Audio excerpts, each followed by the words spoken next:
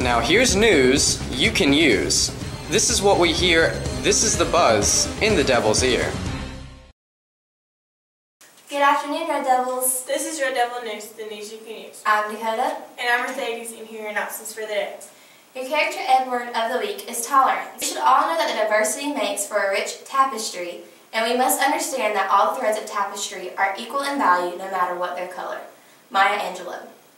If you're, if you're interested in playing tennis this year, you need to see Coach Duke to pick up a player packet.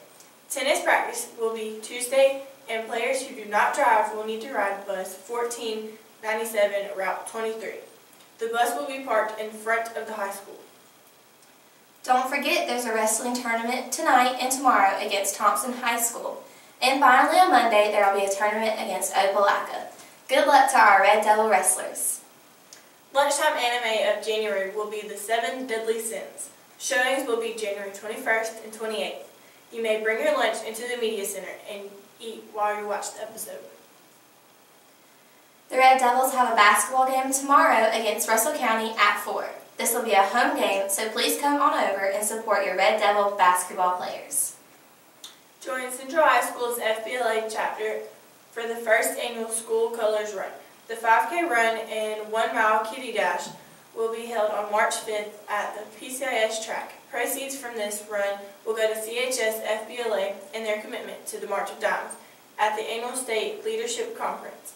Every participant will receive a t-shirt commemorating the event. Registration forms will be available from any business teacher. HOSA Future Health Professionals will be having a bake sale today. You can purchase items at the bus ramp, but you have to eat it or put it away before you get on the bus. Students will be written up for eating or leaving trash on the bus. Seniors, if you want to go to the Auburn University Career Expo, you should sign up on the Career Tech Board. But you need to know that your seat is not guaranteed until you have receipt in hand from Ms. Kite or Ms. Wilson. The trip will be January 26 from 4 to 9 at Auburn University.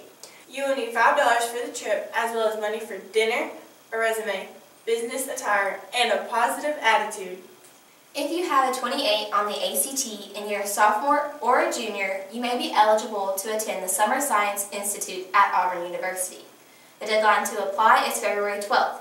Students can apply at www.auburn.edu slash COSAM slash SSI.